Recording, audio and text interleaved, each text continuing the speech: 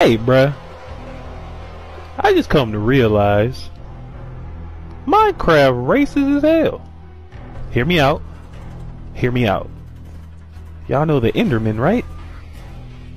Why are they tall black dudes that look high?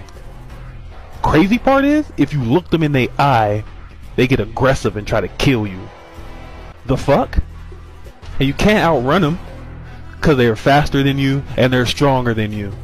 Oh, and the only way you can escape them is if you run towards water because guess what? They can't swim